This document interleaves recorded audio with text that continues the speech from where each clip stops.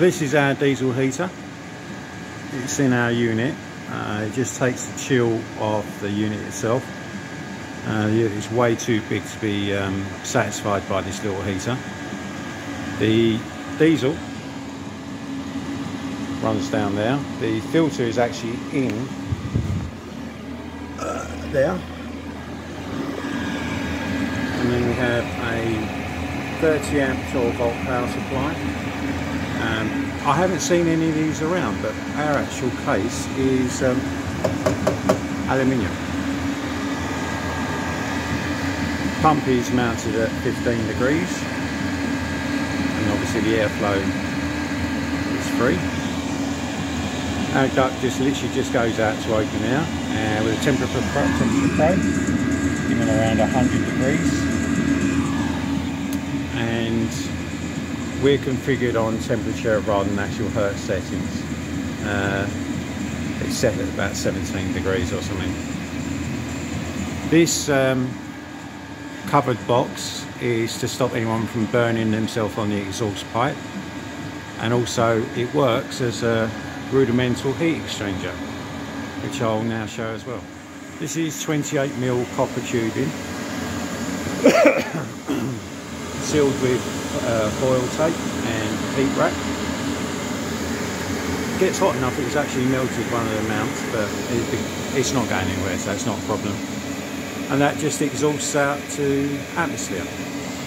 There are possibilities that are, obviously we have condensation at this point and this point but measured temperatures in excess of 100 degrees C so with the amount of air flowing through it should take any condensation with it and I'll show you the difference between the air coming in and then the heat transfer temperature right so the probe is set just in front of the inlet wall and it's just bringing in our fresh air uh, It's currently at 16, 17 degrees. Cover is now fitted and temperature probe still going to the back. This is the air temperature coming into the unit. Utilising the exhaust gases.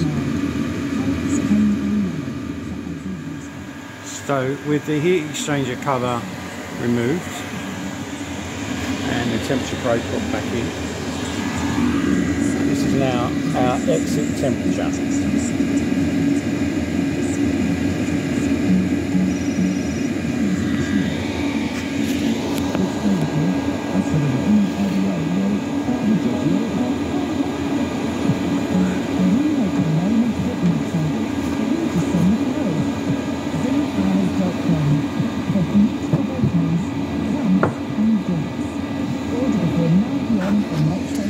now cover's put back in and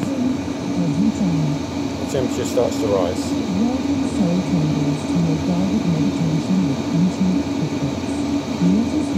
We get to about 95, 96 degrees and that's the system that's working.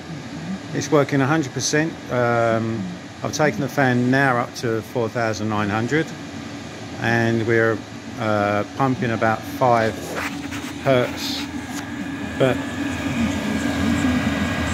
I don't think it is 5 hertz. I haven't really timed it on the pump but it does seems to be just seems to be a little bit slower than what I expect it to be pumping. 5 pumps per second I'm not really too sure. Anyway this is um, three three or four days worth I think it's three and a half days worth of uh, fueling. Nine hours a day 100% operating and we've used probably eight litres of fuel. I will actually be stripping the unit down in about four weeks just to see what it's like for coke build up thank you